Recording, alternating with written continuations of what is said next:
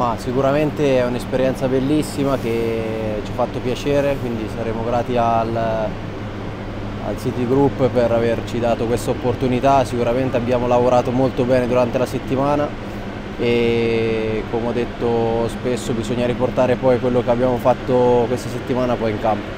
Ma sicuramente era un amichevole che serviva per chiudere una settimana importante di allenamento siamo allenati duramente tutto, tutta la settimana con dei doppi, quindi era importante scendere in campo con l'atteggiamento giusto perché le comunque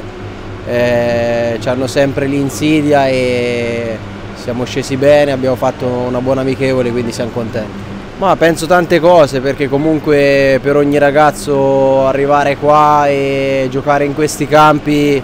eh, è incredibile, quindi è un sogno penso di, di tutti i ragazzini da piccoli, abbiamo avuto l'opportunità di venire qua